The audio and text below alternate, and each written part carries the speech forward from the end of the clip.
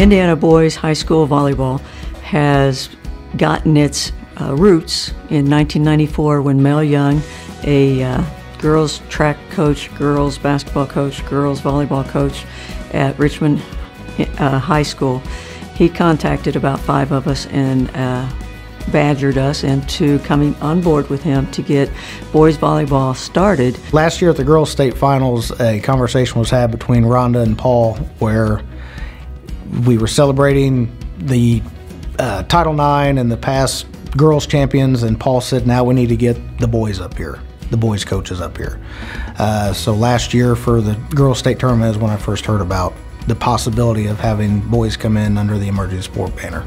Oftentimes we have individuals that will reach out to us and say, hey, can the IHSAA offer a sport uh, maybe in boys volleyball, for instance? And, you know, we, we listen to those conversations and then we would talk to them about what it would take to become a recognized sport at the Indiana High School Athletic Association. And through those conversations, we realized that the rule that we had previously really didn't provide a realistic path to a sport becoming a recognized sport. And so we felt that we needed to make an adjustment. And that's where the, the concept of emerging sports was born.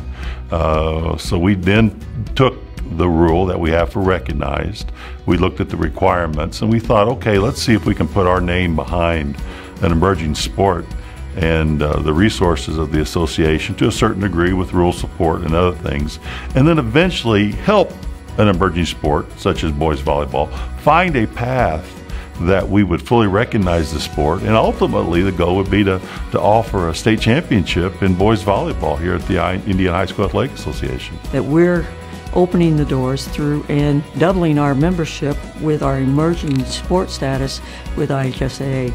As we've introduced emerging sport of boys volleyball this year, we've gained at least 15 schools. Um, and so it's very exciting. We're seeing a movement in the southern part of the state, which uh, needs to grow.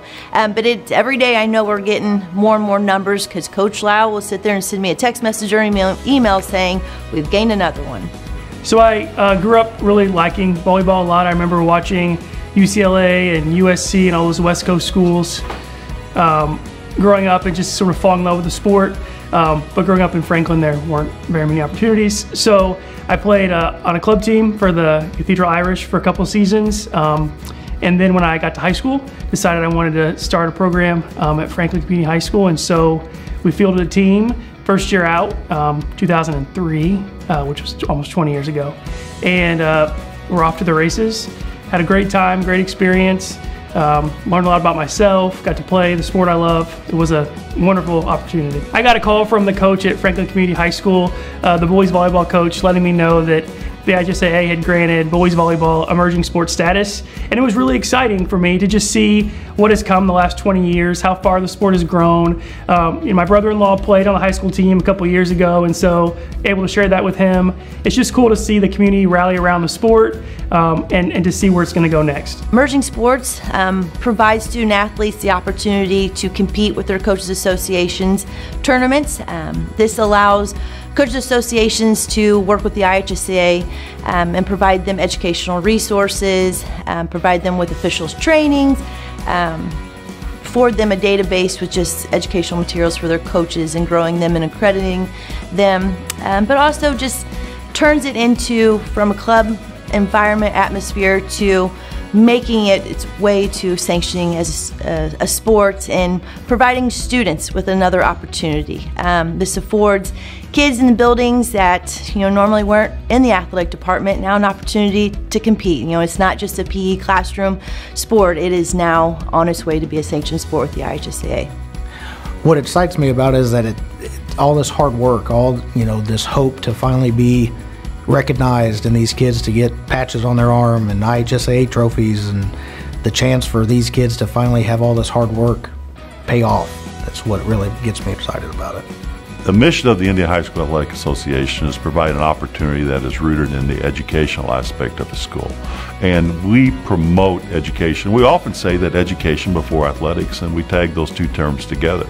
And never should athletics be mentioned before uh, academics, and we're going to really speak to that. And and what this does is provide an opportunity for more student athletes to learn in the second classroom. That second classroom where they show up after school, uh, they're held accountable for time, they're taught time management, they're taught responsibility to others in a team setting, and and, and it's just really an opportunity to set students up for life. Uh, because those are things that all employers value. And anytime that we can teach those types of skills to students, uh, we know they're going to come back and be great contributors to society in the future. And so we're all about opportunity for participation. Indiana Boys Volleyball Coach Association in 1994 had 16 teams, and we had a state tournament, and that was everybody's excited about that. But uh, in 2022, we had 42 teams that played in postseason. Since we've been emerging, we've got we've added 49 schools that we're working with. So from 42, when we're doing it all on our own, to almost 100 with the help of IHSAA is phenomenal.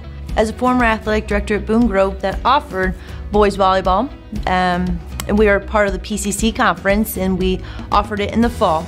Um, so it's a little unique, and it will be a transition for the, the teams for the spring and the emerging sports se season.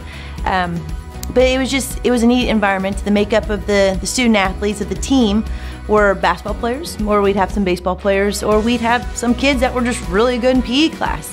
Um, and it was just a neat dynamic. And that's what I think we're going to see starting off with boys volleyball and transitioning it to be a sanctioned sport is it's going to be a makeup of all student athletes um, and students in the building. It's just another opportunity for another extracurricular for students to be a part of. So I think what I've learned the most and what's carried over today is volleyball is the ultimate team sport, and you literally can't win with just one player. Like basketball, maybe you can have a star that just runs from end to end, and football, but in volleyball, it's it's three hits on the side of the net, and you need three players to make it happen. So teamwork is you have you have to have solid teamwork to win. And so I think being a team player, um, understanding your role, how you get other people in positions to be successful, I think that has really lended itself to my career here at Ice Miller as a lawyer because it's all about teamwork and doing what's best for our clients. And I think I learned that really on the volleyball court. And we're, like I say, we're not going to stop at 100. We're going to go and push and push and push and knock on doors and just uh, bend the ear of all those that'll uh, let us get our foot in the door and let them know that these boys are just hungry for a positive avenue, uh, something that they can connect with. We're always encouraging the guys to grow and to give back and be a part of your society in a positive way and see what you can do to improve your surroundings and get to 403 schools. And that's our goal.